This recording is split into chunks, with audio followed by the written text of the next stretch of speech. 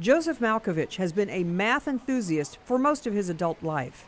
Ironically, for years, Joseph has been battling a medical condition that is highly unpredictable.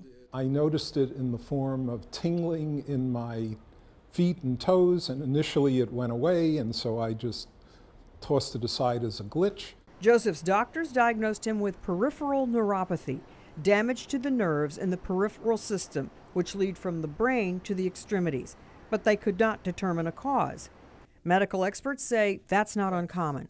In upwards of 30% of patients with peripheral neuropathy, one can't identify a cause. Now, researchers are testing a drug to treat neuropathy pain. Right now, it's known only as CC8464. Inspired by the toxin found in Japanese pufferfish, the drug copies how the fish toxins disrupt signals to the body. How it works in, in the body by targeting those uh, uh, peripheral nerve fibers and not penetrating the brain. Researchers say since the drug candidate bypasses the brain and works directly on the peripheral nerves, it may not be addictive.